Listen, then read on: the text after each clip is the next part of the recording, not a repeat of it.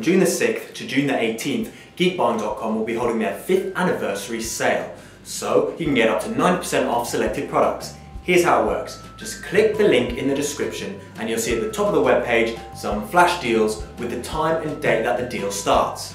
Now, there are different deals starting at different days the 6th, 9th, 13th, and 16th of June.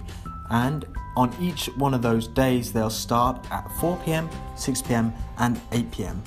Uh, you have to be quick. You can see down here at the bottom of each product, there are only a set number of pieces available at any given price. So, as well as that time limit, there's also a limit in terms of the uh, number of each product. The best selling section here is showing the discounts available on Geek Buying's most popular products.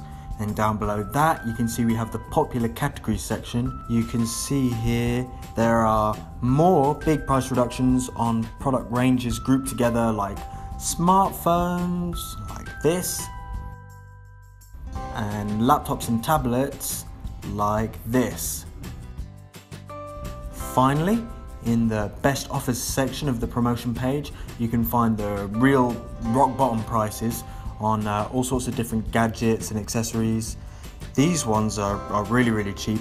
Um, it starts from just 99 cents, and then the other two categories uh, you got one here that's below 5.99 and another for gadgets and such that are below 19.99.